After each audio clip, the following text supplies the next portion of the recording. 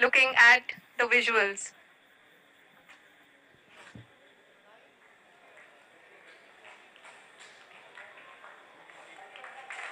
जी हाँ आप अपनी स्क्रीन पे देख सकते हैं कि हम आप lander module People are applauding. Random and all way to hear from the Secretary Department of Space and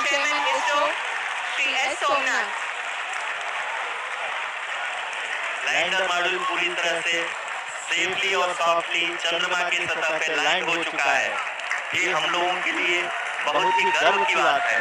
Hindi में एक कहावत है कि चंदा मामा दूर के लेकिन अब हम ये कह सकते हैं कि चंदा मामा अपने घर के। बहुत ही उमदा. The hard work of the entire ISRO community has come to fruition.